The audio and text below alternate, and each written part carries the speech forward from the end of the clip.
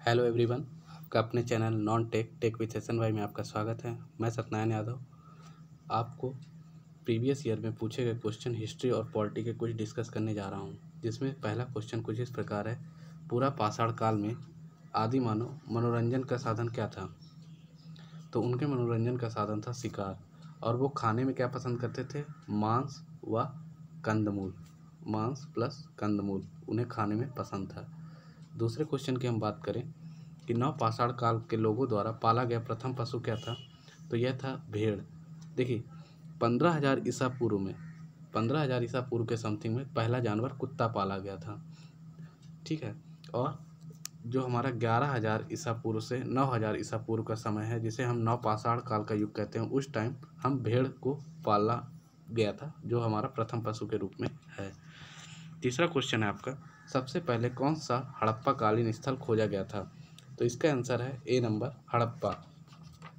हड़प्पा की बात करें तो यह सन 1921 में, सन 1921 में किसके द्वारा खोजा गया था? दयाराम साहनी जी के नेतृत्व में इसे खोजा गया था। देखिए, इसमें तीन क्वेश्चन बन गए कि सबसे पहला स्थल कौन सा था? तो हड़प्पा था। किसके द्वारा खोजा गया था? तो दयाराम साहनी जी के द्वारा खोजा गया था। कब खोजा गया था? नाइनटीन ट्वेंटी वन में खोजा गया था। नेक्स्ट क्वेश्चन है हमारा, हड़प्पा की सभ्यता निम्नलिखित में से संबंधित है। तो वो किससे संबंधित थी? तो वो कांस युग से संबंधित थी। अब देखिए साइंस में एक क्वेश्चन बनता है कि कांस किस किस चीज़ का मिक्सचर होता है? तांबा और टिन का। तांबा प्लस टिन का मिक्सचर क्या होता है? कांसा होता है। तांबा प्लस टिन ठीक है? तो ये भी आपका एक क्वेश्चन हो गया। नेक्स्ट क्वेश्चन है हमारा, हड़प्पा संस्कृति की मुद्राओं एवं पक्की मिट्टी की कलाकृतियों में किस पशु का चित्र नहीं दिखाई देता है। तो वो किस चीज़ का है? गाय का, जो है कि हमें नहीं दिखाई देता है। देखिए, क्या था कि हड़प्पा संस्कृति में एक मोहर मिला था, जिसमें त्रिमुखी त्रिमुखी योगी चित्रित थे, जिसके दाहिनी ओर हाथी और बाघ थे, दाहिनी ओर हाथी और बाघ थे, और बाई ओर क्या था? बाघ, बाई ओर गेंडा और भैंसा थे। सिंहासन के जो नीचे थे, यहाँ पे दो हिरन खड़े हैं। तो इस इस संस्कृति में जो है आपको गाय और घोड़े की कहीं पे भी बात नहीं की गई है, ठीक है? नेक्स्ट क्वेश्चन है आपका। सिंधु घाटी सभ्यता के लोगों की मुद्रा में किस देवता की आकृति चित्र थी? तो देखिए, आपको पता होगा कि उसमें पशुपति देवता की चित्र किया गया था। तो देखिए, मोहन जोदड़ो से जो प्राप्त एक मोहर मिली थी, उसमें तीन मुख वाला एक पुरुष ध्यान की मुद्रा में बैठा हुए थे। उसके सिर पर जो थे, तीन सिंह थे उसके सिर पर क्या थे? तीन सिंह थे। उसकी बाई ओर एक गेंडा और भैंसा था तथा दाई ओर हाथी एवं व्याघ्र थे। और जो एक ए, क्या कहते हैं हिस्ट्री के लेखक थे जो मार्शल वो इसे क्या बताए हैं? आर्ध शिव। क्या बताए हैं? आर्ध शिव। नेक्स्ट क्वेश्चन है हमारा। निम्नलिखित में से किस विद्वान ने सर्वप्रथम हड़प्पा सभ्यता के अवशेषों को खोजा था? तो किन्ने खोजा था? ए. कनिंघम। अलेक्जेंडर कनिंगम ने अठारह सौ तिरपन ईस्वी तथा अठारह सौ तिहत्तर ईस्वी में हड़प्पा का सर्वेक्षण पर कुछ पुरातत्व वस्तुएँ, पुरानी चीज़ों की खोज किए थे। नेक्स्ट क्वेश्चन है हमारा, मोहन जोदाड़ो कहाँ स्थित है? तो मोहन जोदाड़ो जो स्थित है आपका, वो पंजाब के सिंध प्रांत में आया करता था पहले, जो कि अब कहाँ है? सिंध प्रांत, जो पाकिस्तान में है, वहाँ पड़ता है। तो इसका सही आंसर है बी। ये कहाँ पे है? सिंध में लड़काना ज़िले में। कहाँ पे? लड़काना ज़िला। देखिए, ये भी पूछ देता है क्वेश्चन रेलवे में लड़काना ज़िला में। और इसकी खोज कब हुई थी? नाइनटीन ट्वेंटी टू में।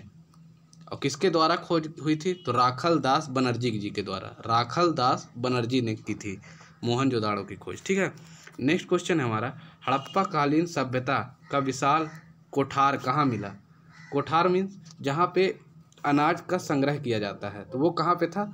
तो वो आपका था मोहन जोदाड़ो में। तो इसका ए आंसर सही हो जाएगा। नेक्स्ट क्वेश्चन है हमारा हड़प्पा कालीन लोगों को किस की जानकारी नहीं थी? तो उस टाइम लोहे के बारे में कोई जानकारी नहीं थी। लोहे के बारे में कोई जानकारी नहीं थी। वहाँ पे देखिए हड़प्पा कालीन में क्या मिला था हमको? गेहूँ, जौ, ये सब चीज़ों के बारे में हमको जानकारी मिल चुकी थी। अब हम पॉलिटी के क्वेश्चन में इंटर करेंगे। अब हम पॉलिटी सेक्शन में बात करते हैं। पहला क्वेश्चन है हमारा कुछ। 11 दिसंबर 1946 को किसे संविधान सभा का स्थायी अध्यक्ष चुना गया था? तो देखिए, जो संविधान सभा की जब बैठक हुई तो पहली बैठक जब हुई तो 9 दिसंबर वो 1946 का दिन था। इसमें सचिदानंद सिन्हा सचिदानंद सिन्हा को क्या बनाया गया था? अस्थायी सभा का अध्यक्ष बनाया गया था, ठीक है? अस्थायी अध्यक्ष निर्वाचित किया गया था। फिर उसके बाद 11 दिसंबर 1946 को डॉक्टर राजेंद्र प्रसाद जी को स्थायी सदस्य के रूप में चुना गया। तो इसका सही आंसर है बी नंबर। नेक्स्ट क्वेश्चन है हमारा, गणतंत्र क्या होता है? तो गणतंत्र जैसा है तो इसका सही आंसर है राज्य जहाँ पर अध्यक्ष वंशानुगत रूप से ना हो। मतलब जहाँ पर चुनाव जो हो मतलब कोई भी अध्यक्ष अगर चुना जाता है तो वो निर्वाचन के थ्रू हो, ना कि किसी वंश का परंपरागत चलता आ रहा हो। जैसे ब्रिटेन में वंशानुगत रूप से चलता है और अपने इंडिया में क्या है, गणतंत्र राज्य है। यहाँ पे चुनाव के द्वारा राष्ट्रपति को चुना जाता है। नेक्स्ट क्वेश्चन है हमारा, कैबिनेट मिशन प्लान के अधीन कितने सदस्य थे? तो इसमें कितने सदस्य थे? तो तीन सौ नवासी सदस्य थे इसमें। देन हम नेक्स्ट क्वेश्चन की बात करें। गीत जनगण मन को भारत के राष्ट्रगान के रूप में किस वर्ष स्वीकृत किया गया था? तो देखिए, जो भारत में जनगण मन है, वो 1950 में स्वीकृत किया गया था। लेकिन यह पहली बार कब गाया गया था? तो ये गाया गया था सत्ताईस दिसंबर 1911 को यह गाया गया था। कहाँ पे? कलकत्ता अधिवेशन में। कांग्रेस के कलकत्ता अधिवेशन में पहली बार इसे गाया गया था। इसकी समय अवधि कितनी होती है? बावन सेकंड की होती है, जिसे संक्षिप्त रूप में बीस सेकंड के अंदर गाया जाता है। देन ये आपको ये क्लियर हो गया होगा। कि जनगण मन को चौबीस जनवरी उन्नीस सौ पचास। चौबीस जनवरी उन्नीस सौ पचास। तो इसका सही आंसर है सी नेक्स्ट क्वेश्चन है हमारा। इनमें से कौन जुलाई 1946 में गठित संविधान सभा के सदस्य नहीं थे? तो देखिए, महात्मा गांधी इसके सदस्य नहीं थे। नेक्स्ट क्वेश्चन हमारा। भारत की संविधान सभा के अस्थायी सभापति कौन थे? मैंने पहले ही बता चुका है इसका आंसर। कौन थे वो? श्री सचिदानंद सिन्हा। नेक्स्ट क्वेश्चन है हमारा। संविधान का मसौदा तैयार करने वाली समिति मतलब ड्राफ्टिंग कमेटी के अध्यक्ष कौन थे? तो सबको पता होगा ये बी आर अंबेडकर जी। और इनके साथ सात सात अन्य लोग भी थे।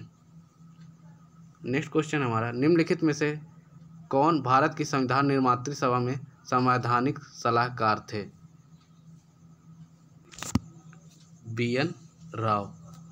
D answer इसका सही है। तो फ्रेंड, आपको अगर यह वीडियो अच्छा लगा हो तो आप अपने दोस्तों के साथ शेयर करिए। इसी टाइप से मैं प्रीवियस ईयर में जो पूछे गए क्वेश्चन हैं स्पेशली रेलवे में जो पूछे गए हैं, उसको मैं कवर करने वाला हूँ। ऐसे ही डिफरेंट डिफरेंट सेक्शन वाइज मैं इसे लाऊँगा। तो अगर अभी तक आपने मेरे चैनल को सब्सक्राइब नहीं किया तो सब्सक्राइब कर लीजिए और बेल आइकन को दबा लीजिए जिससे कि आपको पल पल की अपडेट मिलती रहे। Thanks for watching this video